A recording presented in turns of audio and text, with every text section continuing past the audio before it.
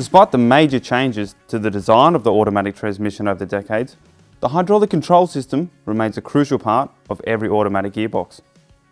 In this video, you'll learn about the key principles of the hydraulic control, covering oil flow, the valve body, solenoids, circuits, and clutch pack operation.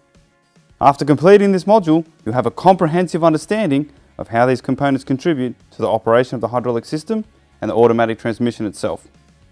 In the meantime, here's a short teaser of what you can expect to see in this module. The valve body is the control centre of the transmission. It houses a number of valves, each designed for a specific purpose. They are commonly known as the manual valve, pressure regulator valve, shift valves, and the throttle valve. The pressure regulator valve is used to control the pressure in the hydraulic system. As the engine speeds up, the transmission pump rotates faster, resulting in an increase of fluid volume, which can cause excess pressure. A spring on one side of the valve is used to control overall system pressure.